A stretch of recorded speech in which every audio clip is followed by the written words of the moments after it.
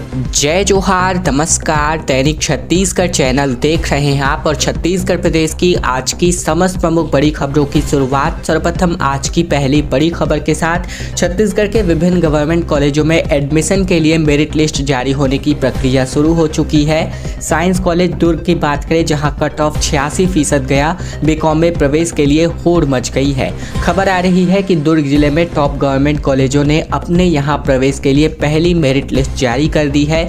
सूची से पता चलता है कि इस साल बी कॉम में प्रवेश के लिए खूब मारामारी है। ऐसा पहली बार है जब बी कॉम के लिए दुर्ग साइंस कॉलेज से अधिक cut off Durg girls college का रहा गया हो। इसके अलावा साइंस कॉलेज की बात करें तो यहाँ बी कॉम पचासी फ़ीसद अंकों पर क्लोज हुआ। वहीं गर्ल्स कॉलेज में अंतिम चौरानवे फ़ीसद अंक पर बी कॉम मिला। जिन छात्रों का नाम फ़र्स्ट मेरिट लिस्ट में आया है, उन्हें 20 से लेकर 27 जून के बीच कॉलेज पहुँच करके एडमिशन कराने के लिए निर्देशित किया गया है और इस दौरान कोई छात्र अगर एडमिशन नहीं ले पाता है तो उसे फिर से आवेदन करना होगा। इसके बाद उसे दूसरी मेरिट लिस्ट से प्रवेश मिलने वाला है। इसके अलावा बात करें तो इस बार होम साइंस में एडमिशन के लिए स्टूडेंट्स का रुझान कम देखने को मिल रहा है। छत्तीसगढ़ में आदि पुरुष फ़िल्म बैन हो सकती है। मुख्यमंत्री भूपेश बघेल ने कहा कि हनुमान जी से बजरंग दल जैसे डायलॉग बुलवाए गए हैं। दरअसल प्रभास और कृति सेनन स्टारर फ़िल्म आदि पुरुष में डायलॉग्स को लेकर के देश भर में विवाद मचा हुआ है। मुख्यमंत्री भूपेश बघेल ने फ़िल्म में पात्रों के चित्रण और डायलॉग को लेकर आपत्ति जताई है। छत्तीसगढ़ में फ़िल्म को बैन करने की बात कही जा रही है। भूपेश बघेल ने कहा कि फ़िल्म में बजरंग बली से बजरंग दल वाले शब्द बुलवाए गए गए हैं। हमारी जितने भी आराध्य देव हैं, उनकी छवि को बिगाड़ने का काम हो रहा है। पहले भगवान राम और हनुमान जी का भक्ति से सराबोर सौम्य चेहरा दिखाई देता था। ये तस्वीर हमारे पुरखों ने बनाई थी। लेकिन इस फ़िल्म में भगवान राम को युद्धक राम और बजरंग बली को एंग्री बर्ड के तौर पर दिखाया गया है। फ़िलहाल ये बयान मुख्यमंत्री भूपेश बघेल ने आदि पुरुष फ़िल्म के लेकर मचे बवाल को लेकर जारी किया। दुर्ग यूनिवर्सिटी में बीएससी अंतिम के परीक्षा परिणाम घोषित हो चुके हैं, जिनमें उनसठ फ़ीसद स्टूडेंट्स ही सफल हो पाए हैं, बाकी अनुत्तीर्ण हो गए हैं। दस परीक्षार्थियों ने अपना पंजीयन कराया हुआ था। दरअसल एक बड़ी खबर चौंकाने वाली है, जहाँ हेमचंद यादव विश्वविद्यालय ने बीएससी अंतिम वर्ष के नतीजे जारी कर दिए हैं और इस वर्ष पिछले साल की तुलना में तकरीबन बीस फ़ीसद कम छात्र छात्राओं को सफलता मिली है। कई परीक्षार्थी पूरे सवालों के जवाब तक नहीं लिख पाए और कई लोगों ने लिखा है, लेकिन पूछे गए सवालों के स्थान पर कोई और जवाब दिया गया है। इसकी वजह से परीक्षा में उनसठ फ़ीसद ही छात्रों को सफलता मिल पाई है। परीक्षा में शामिल होने के लिए तकरीबन दस परीक्षार्थियों ने पंजीयन कराया था और इनमें दस परीक्षार्थी शामिल हुए। विभिन्न कारणों की वजह से 119 परीक्षार्थी परीक्षा में अनुपस्थित रहे, जबकि परीक्षार्थियों में से महज छः हज़ार चार सौ बहत्तर परीक्षार्थी ही उत्तीर्ण घोषित किए गए। सोलह 1641 को पूरक की पात्रता मिली, जबकि 2574 परीक्षार्थियों को डायरेक्ट अनुत्तीर्ण घोषित किया गया है। इसके अलावा बात करें तो परीक्षा के दौरान नकल करते हुए पकड़े गए 77 छात्र छात्राओं के परीक्षा परिणाम भी अभी फैसले नहीं किए गए हैं। छत्तीसगढ़ में भीषण गर्मी अभी पड़ने वाली है और अभी लू चल रही है। रायपुर सहित नौ जिलों में ऑरेंज अलर्ट लू के लिए जारी हुआ है। आगामी 24 जून तक राजधानी में मानसून की एंट्री संभावित है। छत्तीसगढ़ में भीषण गर्मी के बीच कई शहरों में लू का अलर्ट जारी है। मौसम विज्ञान विभाग की माने तो आने वाले कुछ दिनों तक मौसम में बदलाव के कोई भी आसार नहीं है। उत्तर पश्चिमी गर्म हवाओं की वजह से आने वाले दो दिनों के लिए रायगढ़, जांजगीर चांपा, बलौदाबाजार, बिलासपुर मुंगेली, रायपुर, राजनांदगांव, दुर्ग और महासमुंद ज़िले के लिए ऑरेंज अलर्ट जारी हुआ है। यहाँ भीषण गर्मी के साथ लू चल सकती है। राजधानी रायपुर समेत प्रदेश के लगभग सभी जिलों में सुबह से ही तेज गर्मी पड़ रही है। दोपहर के वक्त घर से बाहर निकलना मुश्किल हो रहा है। वही गर्म हवा के थपेड़ों की वजह से लोगों का हाल बेहाल है। दिन में जितनी गर्मी का एहसास हो रहा है रात्रि भी उतनी गर्म होती नज़र आ रही हैं। इसके अलावा प्रदेश के सबसे ठंडे इलाके में भी लू चल रही हैं। छत्तीसगढ़ में जल्द ही एक देश, एक नंबर प्लेट योजना शुरू होने वाली है और सड़कों पर जल्द ही बी एच सीरीज़ की गाड़ियाँ दौड़ने वाली है। छत्तीसगढ़ में जल्द ही एक देश, एक नंबर प्लेट योजना के तहत भारत सीरीज़, यानी बी एच के वाहन की जल्द ही सड़कों पर खरीदी दिखाई देने वाली है। परिवहन विभाग द्वारा इसका प्रस्ताव राज्य सरकार को भेज दिया गया है। आगामी कैबिनेट की बैठक में इसे रखा जाएगा। इसकी स्वीकृति मिलते ही नोटिफिकेशन करके टैक्स और नियमों का निर्धारण किया जाएगा। B H series number plate वाली वाहक देश भर में मान्य होगी और यह नंबर प्लेट शासकीय, अर्धशासकीय और विभिन्न प्राइवेट लिमिटेड कंपनियों के कर्मचारियों और अधिकारियों को जारी किया जाएगा। देश भर के विभिन्न राज्यों में स्थानांतरण किए जाने पर उन्हें नंबर प्लेट नहीं बदलवाना पड़ेगा और स्वयं के उपयोग के लिए नई दो पहिया और चार पहिया वाहनों की खरीदी करने वालों पर बी एच सीरीज़ जारी किया जाएगा। वाहन की कुल कीमत का आठ से दस फ़ीसद यहाँ पर टैक्स लेना पड़ेगा और ये राशि दो वर्ष के लिए मान्य होगी। इसके बाद उन्हें दोबारा शुल्क जमा करना पड़ेगा। बता दें कि सामान्य नंबर प्लेट लेने पर परिवहन विभाग द्वारा 15 वर्ष के लिए एक मुश्त रोड टैक्स देना पड़ता है पटवारियों की हड़ताल के साथ ही अधिकारी भी अब सुस्त होते नज़र आ रहे हैं। राजस्व न्यायालयों में अपेंडेंसी 6014 के पार हो गई है और ये अकेले बिलासपुर ज़िले के आंकड़े हैं। दरअसल पटवारियों ने अपनी मांगों को लेकर 15 मई से अनिश्चितकालीन हड़ताल शुरू की थी। हालाँकि हड़ताल अब समाप्त हो चुकी है, लेकिन अब हड़ताल के कारण लोगों के काम नहीं हो पा रहे थे। इस बीच राजस्व न्यायालयों में अधिकारी भी सुस्त हो गए। लोग लगातार राजस्व संबंधित आवेदन करते रहे और पटवारियों की हड़ताल हड़ताल के कारण अधिकारी भी काम को टालते रहे। स्थितियाँ ये हो गई हैं कि ज़िले में कलेक्टर से लेकर के नायब तहसीलदार और नायब न्यायालयों में अब बात करें तो 6014 मामले लंबित हो गए हैं और इन मामलों में जनता से जुड़े नामांतरण, सीमांकन, खाता विभाजन समेत डायवर्जन के मामले की लंबी फहरिस्त है। इसके अलावा राजस्व न्यायालयों में जिन लोगों ने आवेदन लंबित हैं और वे लगातार अधिकारियों से संपर्क कर समस्या के निराकरण का जवाब मांगते रहे हैं, लेकिन अधिकारी उन्हें यही बताकर चलता करते हैं कि पटवारी हड़ताल पर हैं। पाँच हज़ार से अधिक आवेदन आने की संभावना है। नियमितीकरण के लिए अब सिर्फ़ एक ही महीना शेष है और इसके बाद ताबड़तोड़ कार्यवाही आने वाले दिनों में देखने को मिल सकती है। जिन लोगों ने बिना भवन अनुज्ञा लिए निर्माण करा लिया है और या फिर अनुज्ञा के विपरीत मर्ज़ी से मकान के स्वरूप में परिवर्तन किया है तो उनका नियमितीकरण करवाने के लिए अब सिर्फ़ एक ही महीने का समय रह गया है। एक साल की अवधि के लिए लागू किए गए नियमितीकरण योजना चौदह जुलाई दो हज़ार बाईस से शुरू हुई थी और ये तेरह जुलाई 2023 तक जारी रहेगी और इसके बाद आवेदन पर विचार नहीं किया जाएगा। अभी शासन लोगों को अपनी गलती सुधरवाने का अवसर दे रहा है। निगम प्रशासन भी बार बार अपील कर रहा है। इसके बाद सख्ती से तोड़फोड़ की कार्यवाही हो सकती है।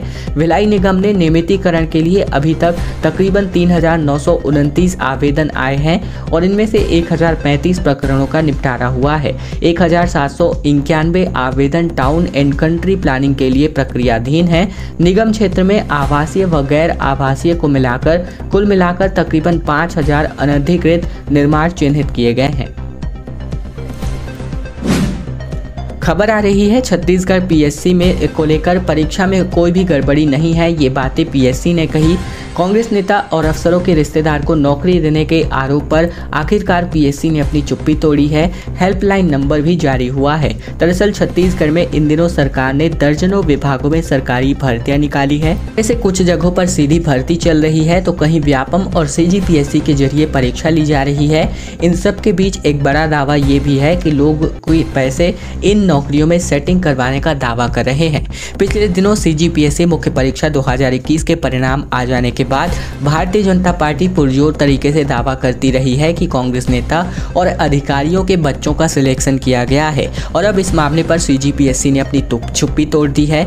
दूसरी तरफ़ पैसे लेकर नौकरी लगाने के नाम पर ठगी के मामले इतने बढ़ गए हैं कि राजधानी की पुलिस को हेल्पलाइन नंबर जारी करना पड़ गया है। प्रदेश का यूथ सोशल मीडिया पर गड़बड़ी के दावों को पोस्ट कर रहा है।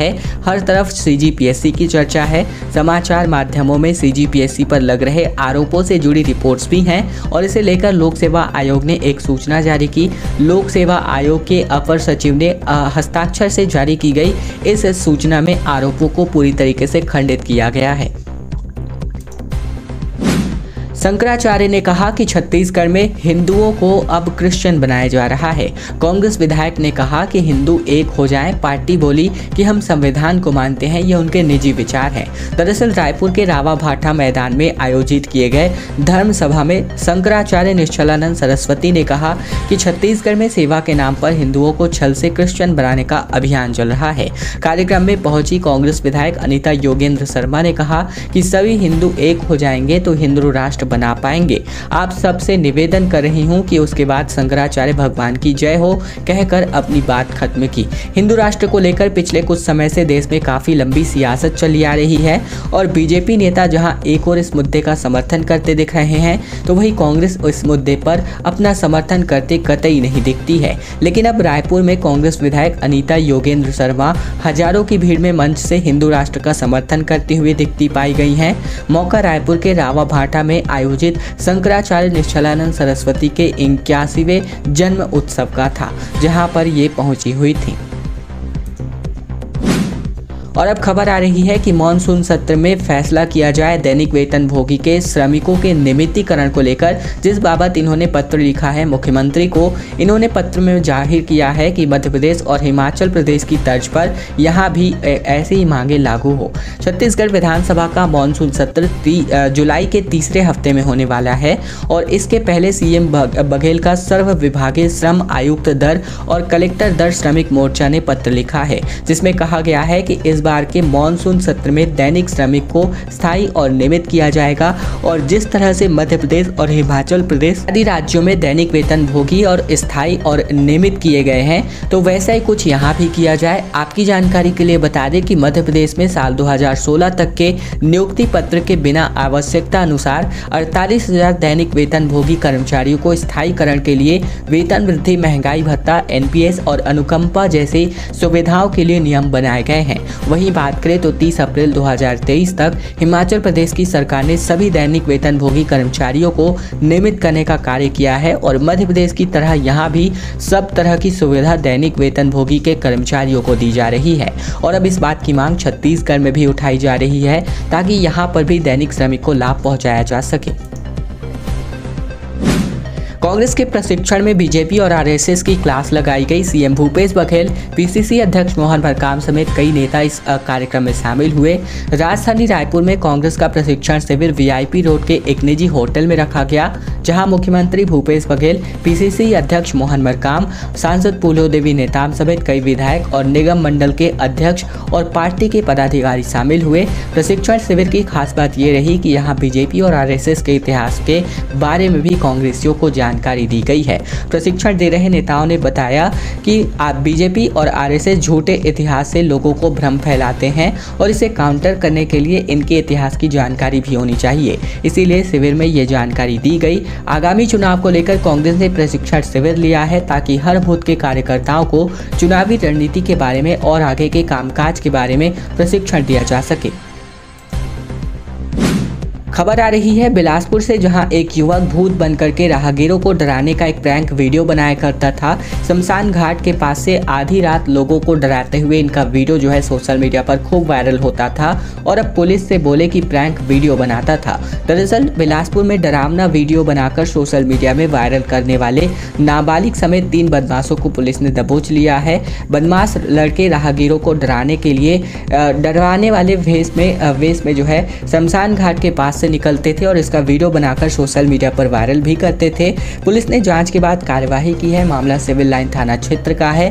टीआई परिवेश तिवारी को शिकायत मिली थी कि सिविल लाइन क्षेत्र के सिंधी कॉलोनी स्थित शमशान घाट और वेयर हाउस रोड में कुछ बदमाश लड़के भूत बन करके निकलते हैं और लोगों को डराते हैं और शिकायतकर्ताओं की शिकायत पर उन्होंने सोशल मीडिया पर वायरल वीडियो को भी दिखाया था, जिसके बाद पुलिस की टीम ने बदमाशों पर तलाश करके एक नाबालिग समेत तिफरा इंद्रपुर निवासी तिलक तिलक यादव दीपक यादव और अमृत यादव को हिरासत में लिया है। खबर, पानी की तलाश में गरियाबंद की जंगल से भटक करके रिहायशी इलाकों में भालू का घुसते हुए एक वीडियो सोशल मीडिया पर खूब वायरल हो रहा है। ये वीडियो गुरुवार सुबह का है, जहाँ विकास खंड के ग्राम चौबे बांधा बेलटुकरी देवरी इत्यादि गाँवों में भालू आने की खबर से क्षेत्र में दहशत फैल गई। ग्रामीणों की सूचना वन विभाग की टीम सुबह छह बजे चौबे बांधा पहुँची, जहाँ भालू को खदेड़ना शुरू किया गया। भालू वन विभाग की टीम को छकाते हुए ग्राम बेलटुकरी होते हुए दोपहर एक बजे के आसपास ग्राम देवली के खेतों से भाग निकला। देवली के खेतों में रोपा के लिए सिंचाई हो जाने के कारण वन विभाग की टीम आगे भालू को खदेड़ने में सफल नहीं हो पाई। वही भालू को खदेड़ने के दौरान गाँवों के खेतों में दर्जनों जंगली सुअर भी पाए गए। यहाँ भालू के साथ साथ सुअरों को भी खदेड़ने का प्रयास किया गया, लेकिन ग्रामीण क्षेत्रों के खेत खलिहान में अपना अड्डा जमा चुके जंगली सुअरों को वन विभाग की टीम खदेड़ने में नाकामयाब साबित हुई। पुलिस वालों की सोशल मीडिया पर रील पर डीजीपी सख्त होते नज़र आ रहे हैं। वर्दी में एंटरटेनमेंट वीडियो बनाया तो यहाँ पर कार्यवाही होगी। 20 पॉइंट पर गाइडलाइन जारी की गई है। छत्तीसगढ़ के पुलिस अधिकारियों और कर्मचारियों के लिए सोशल मीडिया के इस्तेमाल को लेकर एक गाइडलाइन जारी की गई है। बीते कुछ समय से कुछ पुलिस इंस्पेक्टर पत्नी के साथ बंदूक तो वहीं कहीं सोशल मीडिया पर वर्दी पर रील्स बना रहे हैं और इस पर डीजीपी अशोक जुनेजा नाराज़ है। ऐसे बढ़ते मामलों को देखते हुए उन्होंने 20 बिंदुओं पर गाइडलाइन जारी की है। निर्देश में यह भी स्पष्ट रूप से लिखा है कि सोशल मीडिया पर कोई भी पुलिसकर्मी वर्दी में मनोरंजक यानी एंटरटेनिंग रील नहीं बना सकता है। इस गाइडलाइन में एक दो नहीं, बल्कि सोशल मीडिया के इस्तेमाल को लेकर पूरे 20 पॉइंट तैयार किए गए हैं। अंतिम खबर, जहाँ बस्तर से पहुना बनकर के पहुँचे सीएम हाउस, जहाँ भेंट मुलाकात में जिनके घर खाना खाया, उनका स्वागत भूपेश बघेल ने अपने घर बुला करके किया है। मुख्यमंत्री भूपेश बघेल प्रदेशव्यापी भेंट मुलाकात कार्यक्रम में प्रदेश की विधानसभाओं में पहुंचकर लोगों से प्रत्यक्ष मुलाकात करते हैं और शासकीय योजनाओं के क्रियान्वयन की जमीनी स्थिति जानते हैं। और इस दौरान उन्होंने विधानसभा क्षेत्र के ही ग्रामीण परिवारों के साथ पारंपरिक भोजन भी किया हुआ था, जिसको लेकर ग्रामीण परिवारों ने भी अपने घर मुख्यमंत्री को पारंपरिक तरीके से स्वागत किया और भोजन के दौरान मुख्यमंत्री के घर से परिवार से बातचीत की और अब बीते दिन मुख्यमंत्री भूपेश बघेल मेजबान बनकर बस्तर संभाग के इन्हीं ग्रामीण परिवारों को अपने घर दोपहर भोज पर आमंत्रित किया और शानदार मेहमान नवाजी की गई। खैर दोस्तों, खबरों में लगातार अपडेट रहने के लिए चैनल पर नए हैं तो चैनल को सब्सक्राइब करना मत भूलेगा ताकि प्रतिदिन की महत्वपूर्ण खबरें छत्तीसगढ़ समाचार बिना रुकावट रोज़ाना हम आप तक पहुँचा सकें तो चैनल ज़रूर सब्सक्राइब कीजिएगा।